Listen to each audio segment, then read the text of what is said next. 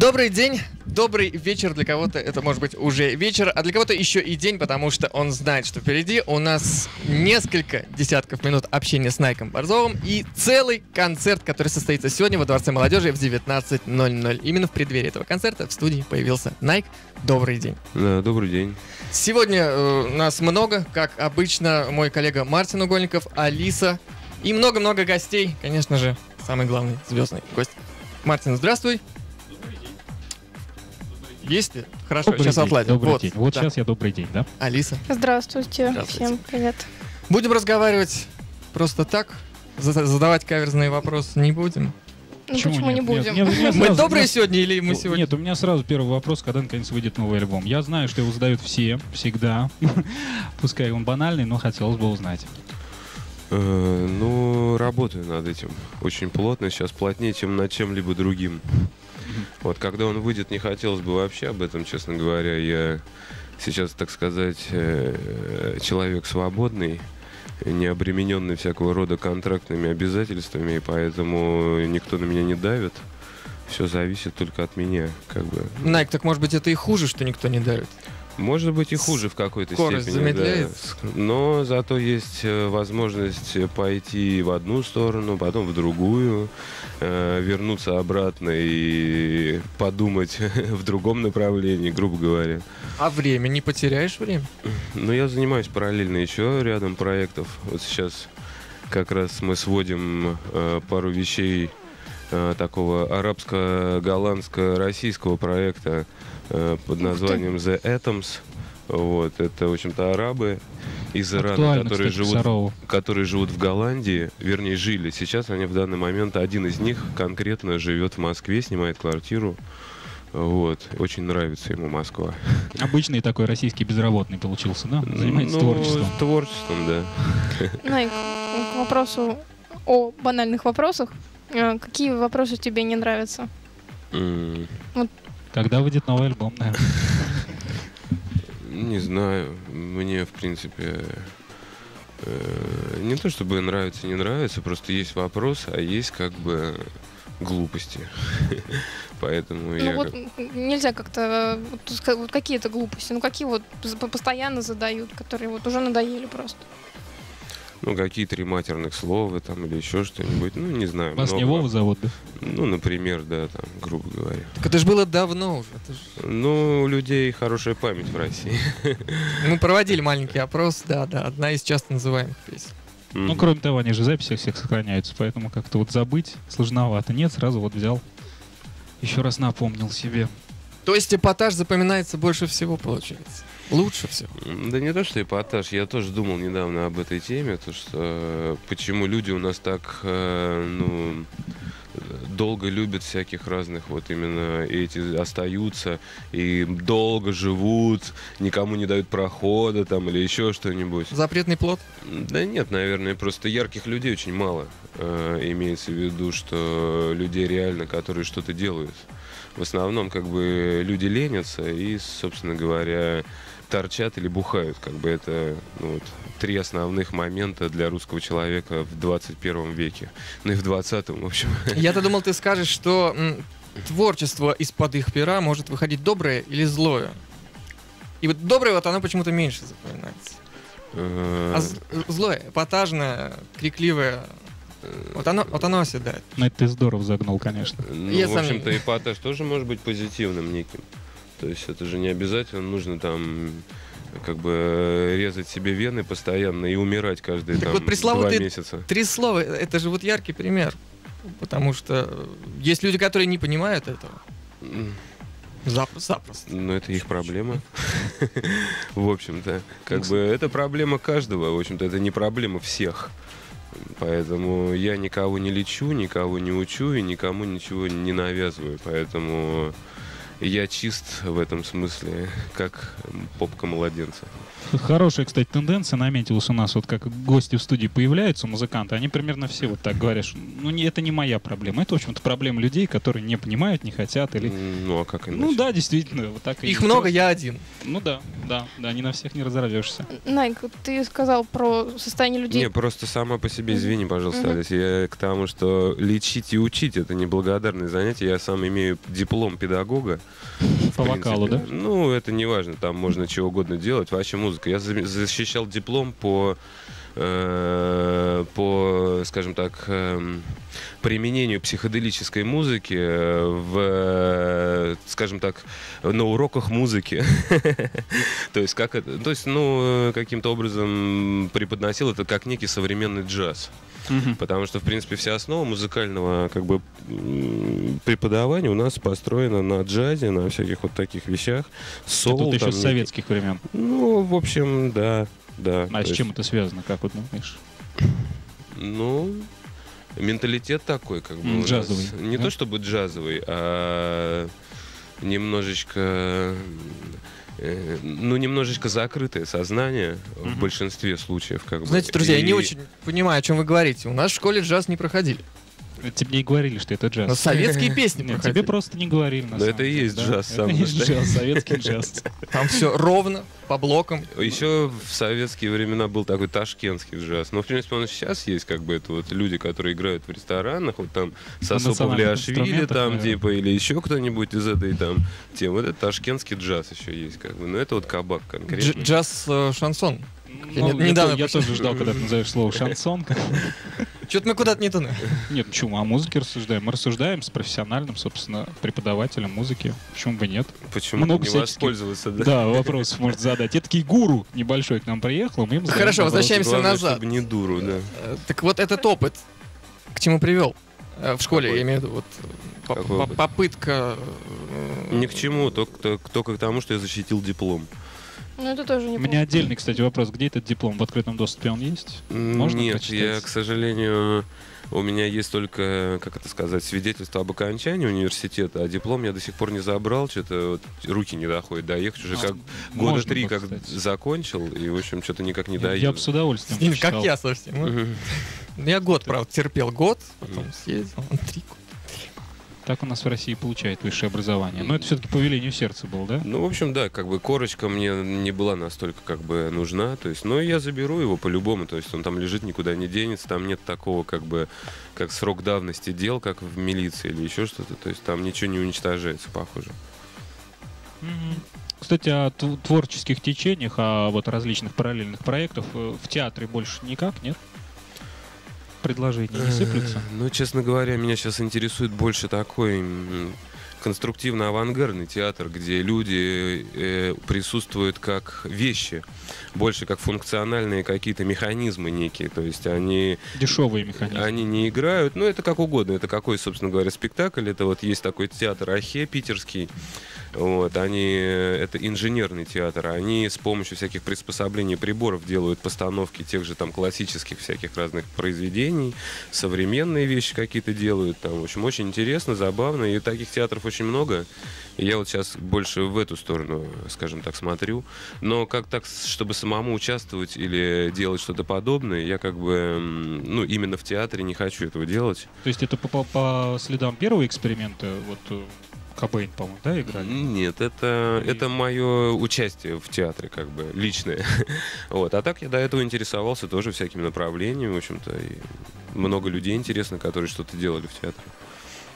Даже те, которые снимали потом в фильме, тоже, фильмы Захаров тоже, например. Ну, чисто театральные режиссеры. Ага. Саундтреки не просят написать, нет? Саундтреки я пишу периодически саундтреки, но это все такие как бы опять же э, как сказать абсолютно андеграунд некий. То есть вот написал саундтрек э, Ну, к такому. фильмы такие. Вот, то есть м, как бы сам сама не то что назвать это перформанс или э, спектакль, это сложно назвать, это сделано как бы некое действие, объединены три там или даже больше направлений, то есть э, вместе. То есть там живопись, э, танец, пластика, музыка, там всякие разные видео, э, э, всякая графика, вот. И все это было соединено и на основе древних языческих культовых разных обрядовых вещей, то есть э, был такой праздник э, Сагалган, он до сих пор существует у всяких разных народов, у наших, у северных. Вот. На этой основе была у них богиня такая Артемида, э, вот, у древних языческих народов. Э, И мы сделали с моим другом Вадимом Сташкевичем и с танцевальной э, группой такой восточной пластики под названием Махсира. Они раньше назывались, сейчас даже не знаю, как они называются, потому что, по-моему, развалилось все у них. Э, Сделали такую, такой, скажем так, некий ритуальный перформанс «Большая охота Артемиды». Это, в общем-то... А Сагалган — это примерно то же самое, что у нас Масленица, переход от зимы к весне, то есть переход на весеннее время. Э, И вот я написал музыку, мы живьем исполняли это в одном из московских клубов, там в паре мест, мы в нескольких местах показывали это, в том числе и для правительства что-то показывали.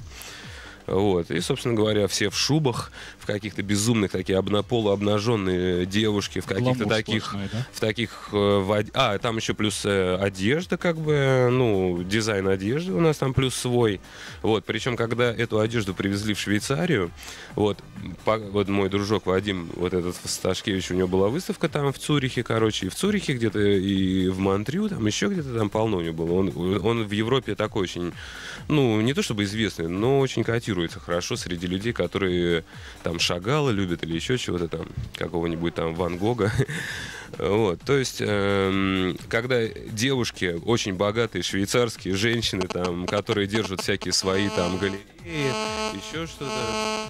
э, ага. Вот.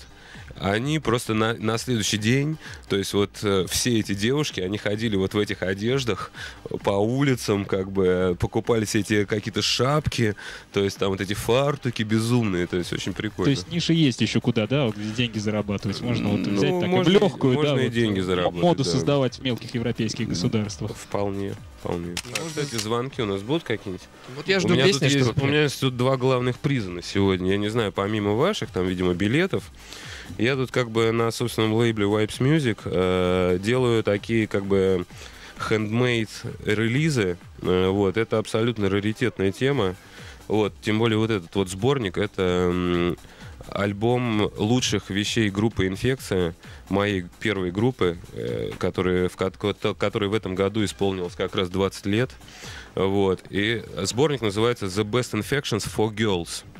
Вот, это три, то есть это 27 песен с трех э, альбомов с 90 года по 96 вот, это абсолютный раритет, он будет распространяться чер- только через интернет, вот, а у вас ре- реально есть шанс э, получить эти вот два прекрасных диска, оформленных в розовом цвете специально для девочек. Лучшая инфекция для девочек. Ну, ну называется. что, за лучший вопрос, наверное, да, по логике-то? Ну, лучший вопрос, не знаю, там решим в конце уже. Хорошо. Ты сказал, что есть а, несколько всего состояний у человека, ну, у у русского человека, торчат и бухают. Ты вообще против такого изменения сознания? Эм, Ну, против такого факт. А не против какого? Я вообще за изменение сознаний, как бы за перемены, за то, чтобы как бы стремиться к чему-то новому. Я вот за это, как бы я за реальные, настоящие, ну, то есть не химические, абсолютно чистые источники энергии. Вот. Не за ядерные, не за водородные, а вот реально за хорошие, чистые, абсолютно, то есть без всякого разного, желательно, без всяких, да, извне. Лично только моих вмешательств в этот процесс и все. То есть здесь это важно. Только я сам как бы это направляю, иду, выбираю, принимаю, не принимаю и прочее. Э, Вот, мы сейчас были с Найком в музее ядерного оружия. Да, отличная экскурсия. Я даже посидел на ядерной боеголовке верхом. Как барон Мюнхгаузен современный, да, кто-то сказал даже.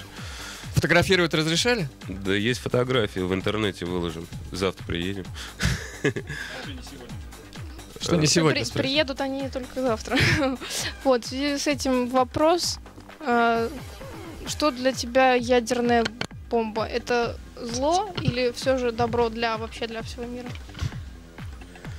Ну, вряд ли это добро. Ядерная бомба. Вот. Ядерная энергия, может быть. Э, Вот.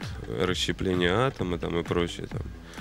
Э, Вот. То, что касается бомбы, я бы не стал так э, однозначно говорить, что это добро. Может быть, для того, чтобы остановить американцев в свое время, нужно было там нам создать бомбу, еще кому-то создать бомбу, чтобы те как-то, ну так, присели немного на хвост, скажем так. Э, Может быть, в этих, ну, с точки зрения этого, как бы, Защиты. чтобы, да, защита, это, да, наверняка это, ну, опять же, в сложившихся ситуациях, как бы, опять же, в сложившейся там исторической этой теме, это, как бы, может быть, можно рассматривать как некий там успокаивающий фактор. Вот мы Но, опять получаем. же, как добро, я бы, ну, наверное... Нет, Я вообще против оружия, в принципе, против насилия, против э, убийств и против вообще драк, в принципе. Ну, вот то, что вначале рассказывали про то, что здесь был монастырь, да, а потом это все разрушили и сделали здесь вот завод. Тебя это как? Ну, Так скажем, не, не Ну, показалось ли это каким-то вот... Но это времена такие были. В общем, э, учитывая то время, которое было, в общем-то, я это воспринимаю естественно. Естественно. Конечно. Напоминаю Но нас... это, это я бы не... Извини, пожалуйста, я вообще не сказал, что это очень хорошо, как бы там. Но опять же, опять же, ломаем старое, строим новое, может быть, э, как бы все к лучшему по-любому. Ну, То есть это... Капитализм такой в отношении. Не знаю, сколько мы еще просидим. Да, Здесь. ну, су- суть по звонкам нашего коммерческого директора. Мы недолго здесь просидим, на самом деле уже пора. Где же вы так задержались? В музее? Да, очень интересно было. Фильмы посмотрели. Да, нам фильмы показывали сначала про монастырь, потом уже про взрывы ядерные. То есть, ну, в принципе, церковь э, в свое время, православие тоже было как ядерный взрыв. Вот, его можно тоже рассматривать как некий, как вот Аналог. расщепление энергии. Я все-таки скажу эту фразу. Вот оно и есть изменение сознания, но в масштабах целого, ну, государства, будем так говорить. Изменение менталитета, да, ну, сознания, всего вообще, да. Но это в- даже не в мировом, я бы даже сказал, то есть... э, Потому что известный факт же, что я не знаю, конечно, то, что взрыв вот этого, как его, на Украине, э, ядерная станция, которая... Чернобыль. Чернобыль, да. То, что выпал осадок реально в Америке после этой катастрофы. То есть облако прошло над всей Европой, и его остатки пришли в Америку, и там выпал дождь кислотный, как бы вот. Ну, то есть это все очень взаимосвязано и очень все грустно. На самом деле, если глобально, ну, там, как-то это начинать думать об этом. Может быть, поэтому, раз у нас страна такая, раз у нас там спокойно там возят на территории ядерные отходы, чтобы хранить из других стран за бабки, может быть, лучше и, и остается бухать, торчать и лениться, ничего не делать. Я вот тоже об этом думаю, на самом деле. Вот непонятно, что лучше. Найк, Думать или не думать? Быть или не быть? Возможно, в этой стране лучше не быть. Некоторые предпочитают уехать, да. Ну, наверное, не А- знаю. Ну, судя по тому, как все развивается. Потому что я не, я не хочу сказать, что я там анти какой-то патриот, там, типа, не люблю Россию, там, ее там... Нет, Россия вперед, все дела. То есть я очень люблю эту страну, и очень много у меня хор- хороших людей, безумно красивых, талантливых, очень умных и добрых, и бесконечно бескорыстных. То есть это...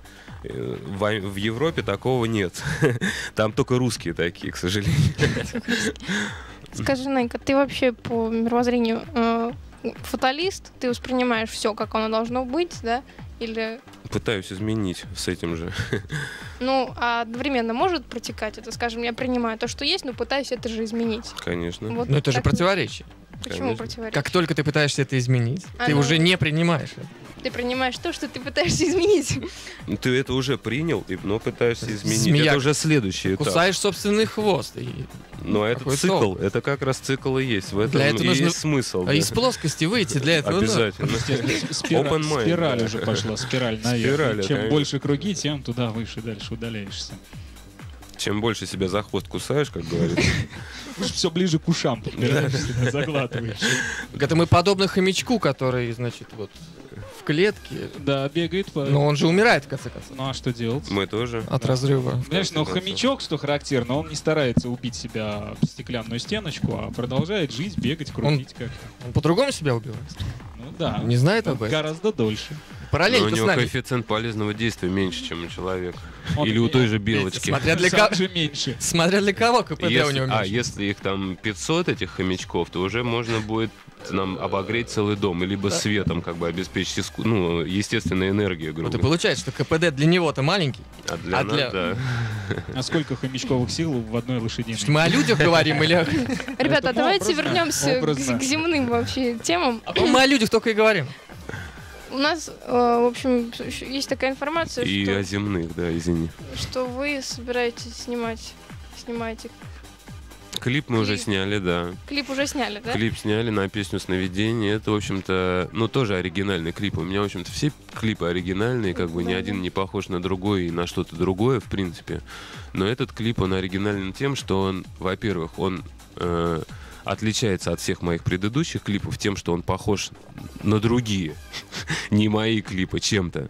И, и второе, то, что он снимался год. Это самый, наверное, долгосрочный по съемкам. Клип был, что ли? Нет, абсолютно. С пластилина лепили там. Абсолютно нет, все живые персонажи. Ну, Вот. Э, Ну, как бы делался он, не снимался, грубо говоря, а делался год. Это у меня бывает так. Я, например, одну песню там из занозы писал 10 лет. Ну, один куплет с припевом написал там в 91 году, а второй куплет с припевом написал за, там, за полчаса там в 2001, грубо говоря. И вот Слушай, получилась ну, песня. для этого же нужно вникнуть в то настроение, которое, под которым был первый куплет написан. Ну, Это спираль, это сознания. развитие, это как раз 10 Вот. лет И, выдерживалось, собственно говоря, понимаешь? здесь у клипа примерно такая же история, то есть, но вот э, с разницей всего в год начала, то есть начали мы его снимать 9 июля в клубе э, Б2 в Москве и заканчиваем, закончили недавно, где-то вот в начале июля, и 15 июля в Б2 будет, опять же, его, скажем так, премьера. Соответственно, ну, в общем, получилось год. А, а самое короткое, наоборот, произведение? Может, песня или тоже клип? М, Самая короткая, это, наверное, последняя песня. Как написалась, так же и снялась. То есть клип снял, сняли мы из порядка за 5 часов весь. Вот, песню я написал, может быть, за полчаса всю. То есть, ну, как бы вот Мгм. последняя или, ну, вот, верхом на, звез- верхом на звезде, я бы не стал так говорить. Было несколько вариантов текста. Э, Кстати, вот о последней песне есть у меня вопрос на эту же тему. Вот А, лошадка очень быстро написал. э, э, Лошадку все знают. Три такая... слова быстро написалось. Три слова написалось там за два часа и записалось при этом тоже за это же время. То есть, за- правда, как клип снимали пять дней. а? А, Найк, вот э, такая фантастическая ситуация. К тебе подходят люди и говорят, что сейчас ты будешь петь свою последнюю песню. Ну, не последнюю песню, последнюю, а именно последнюю песню, ну, скажем так, В твоей в твоей, жизни. твоей жизни, в твоем творчестве. Это будет какая-то конкретная песня? Или А что со мной сделают было? после этого? Нет, я говорю, это фантастическая ситуация. Нет, Не, ну, вопрос о песне уже не стоит. Найк просто не хочет, чтобы к нему подходили люди с таким предложением. Да, и мне, честно говоря, сам вопрос не нравится. Сама вот ситуация. Ну, наконец-то мы Наконец мы нашли вопрос. вопрос, да. это- это Маленький Нет, тест мне был, на сама самом деле. ситуация просто, я бы не, не, Нет, а, не хотелось бы вообще даже думать Нет, об не этом. надо в нее вживаться. Это именно вопрос и даже такого... отвечать. Нет, именно вопрос такого плана, какая песня является там концентратом творчества или что в ней вложено, вот все, все мировоззрение. Да, во все взгляд. песни То вкладываются. есть во все одинаково. Абсолютно. То есть, ну, из- исходя из каких-то ситуаций, обстоятельств. Но во все песни я пишу честно. Ну, то есть, не пытаюсь как-то там что-то э, сделать для того, чтобы там... Ну, в общем, это был завуалированный вопрос про любимую песню. Ну да, любимые песни нет. все любимые, все очень нравится исполнять, как бы. Просто единственное, что э, я, начиная где-то с года, с, девян- с две- с 2000, наверное, первого, э, с 2000-го не исполнял песен из своих там старых альбомов, из погружений, из закрытой, из головоломки. Очень мало исполнялось их на концертах, практически не исполнялось.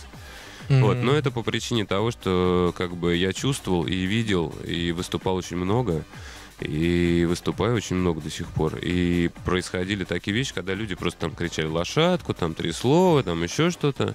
Вот, художник там верхом на звезде. То есть, как бы программа строилась в основном из там Да. из одной-двух пластинок, которые, в общем-то, были известны людям. Это, кстати, обижает? Нет, абсолютно. Сейчас я исполняю эти песни из тех из старых альбомов. Вот начал последние где-то полгода исполнять год эти песни, и народ их воспринимает вообще как какой-то некий свежак. И, и для меня они самого звучат очень свежо. И я с очень с удовольствием, с большим их исполняю, играю как бы. И сейчас в основном программа вот строится. Сегодня такого не будет. Вот, в основном такого. Сейчас клубная программа в основном строится из песен э, более позднего, раннего периода, скажем так. Опя- Вот. Опять спираль пошла. То есть творчество Nike это спираль сплошная. Да, все спираль. То есть, а перерыв вот был вот этот 10 лет, когда люди не воспринимали, а потом, а, а потом ты опять что-то... Нет, ну почему 10? Э, д- Ну, вот как вышел Супермен, то есть как началась вот эта вот вся бесконечная... Чуть там, побольше, значит. Ну, 2000, сейчас Да, 2006. Ну, вот 5 лет я их не играл, как бы. Ну, в основном не играл, как бы. В основном играл песни из двух альбомов. Из Супермена и из Занозы. Ну, вот эта лошадка и прочее. Ну что, логичный вопрос о популярности. И т.д. и т.п. А популярности как относится? Да, за- за- зададим вопрос? Чьей? К чужой, конечно. Про свою спрашивает. Это вопрос? Да. Эм,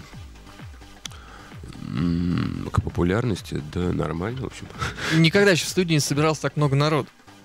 Что хочу заметить. Ну да. Людей, которые Фанаты. любят Фанаты. Все, все, все, кто собирается прийти на концерт, все вот, собственно, столпились там в коридоре. Не, они принесли что-то за эти, за пластинки. Я же сказал, либо вопрос, либо что-то. У меня, кстати, недавно был день рождения. Да, я ведь где-то слышал. Так мы ж, да. Я, по-моему, читал, да, об этом. Всего, да? 23 23 мая. мая, да. Ну, Мы лучше же- поздно, чем Мы никогда. же даже поздравляли. Да, мы поздравляли, мы передавали. Прикольно. Чего передавали? Привет, передавали поздравления. Не Где, передали? где он? Ка- Привет. Катя, не передали привет? Где мой привет? Принесла? Ну, что-то пишет на бумажке. Можно дать ей микрофон, она скажет. Ну да, все в интернете, короче. Да, то есть вот э, на lovejournal.com, да? Ну, Нет. может, И там тоже. Нет, кстати, почему, почему, почему у тебя нет живого журнала? у меня их два, даже три. Опа. Ага. Почему у меня нет? Смешные люди. Ну, блин. Ну, Ну, Nike Борзов, Live Journal Nike Борзов.com, Live Journal Wipesmusic.com, э, Live Journal Nike Борзов 01.com, или как там, я не знаю, в каком порядке. Это сообщество, а личный? Э, Nike, Nike Борзов 01, Это личный дневник. но он закрыт. А, Понятно. А Смешного ничего не вижу. Ну, я тут не, не, ну, печально посмеялись просто, потому. А еще где-то в интернете об- общаешься? Э, На каких-то форумах? На форумах нет. Ну, в основном на тех, где, например, э, мне интересно посмотреть что-то о чем-то, ну, о каком-то инструментике или еще о каком-то предмете, как бы Ну, чисто мнение людей, каких-то, да, каких-то Технического. профессионалов или чисто, да, технический вопрос.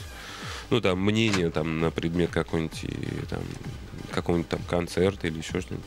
Ну, в общем, какую-то информацию, да, больше вычисляю, но, как правило, вот в форумах не сижу там вот тупо, потому что Ну, у меня даже нет Аськи, потому что она меня очень сильно отвлекает, вот этот постоянный пароход, который гудит, вот это а-а, а-а, вот это. Можно звук выключить. Ну, а тогда непонятно, зачем она нужна. Мне пришли на почту письмо, я посмотрю, когда подойду к компьютеру. Вот и у меня так и есть примерно. Я Аськой не пользуюсь. Но для этого есть директор. Да? Да, Да, чтобы наверное. пообщаться. по- Даже два. Что-то Прям бюрократию все развел там. Нет. Все, Я все необходимые, все нужные. Все, я взгляд понял. уже. функционально все. Я же конструктивист. Что это такое? Что это такое? Конструктор. Это человек, который наверное. лего собирает постоянно целыми днями, да. Некоторые из Лего собирают огромные конструкции. Вот это я. Но можно я, ли на них я и есть лего. можно ли на них восседать, неизвестно, на этом троне? Ну, У меня там дочь живет в одном из таких домов. Ой, как не печально, но вот, собственно, вот уже все. Пришли организаторы концерта. Что же вы пришли-то? Вот пришли. Вот качают головой, машут руками, различные жесты показывают. В общем-то, велено уже заканчивать. Как не печально. Ну, к сожалению, да. Ну да, в другой раз Так, а встретимся. может быть мы тогда Приходите на концерт. на концерте получат девушки, Какие? э, которые мы... А Хотели. какие? А кто? Да никто ж не звонил. А на концерте будут какие-то? Ну, да. А, Ну, на концерте и решим, что ли. Хорошо, диски не останутся без хозяев. Мгм, Ну что, до концерта тогда? Да, до концерта. Приходите. Спасибо. Будет весело. Спасибо большое. Спасибо. Спасибо вам. Это был Всё. Найк Борзов на Европе Плюс. Приходите сегодня в 19.00 во Дворец молодежи. Презент. Телефон в студию 9 49 49.